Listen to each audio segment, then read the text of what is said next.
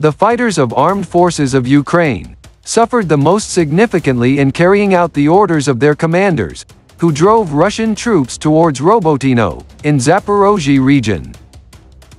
As a result of the ensuing fighting, the Ukrainian formation was finalized, and the soldiers who were lucky, became captured by Russian troops, Russian military sources reported today, on August 3, 2023.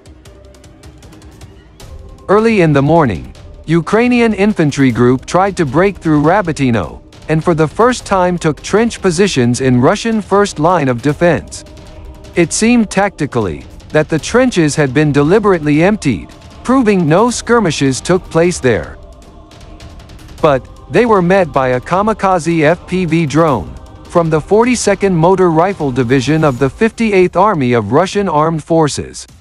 Russian drone helped to repel the small Ukrainian offensive, and executed a disastrous finish in the enemy dugout.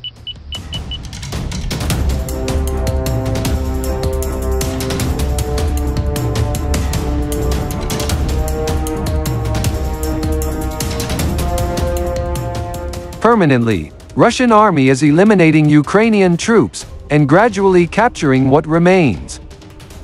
Today's footage shows Russian soldiers capturing several soldiers of armed forces of Ukraine, and the rest disappear in a forest belt. Apparently they were trained members of the special forces, but who pretended to be mobilized. In recent days in the same area, a group of Ukrainian soldiers was liquidated by Russian soldiers from the 70th Regiment. Those who were lucky eventually gave up.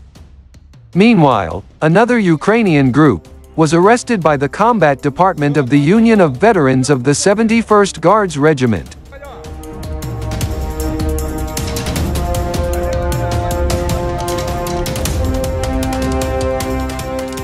Ukrainian soldiers complain of the hardships of life in Rabotino.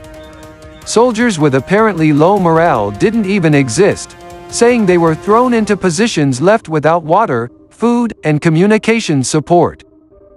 Abandoned, the fighters didn't know what to do. But here everything is clear.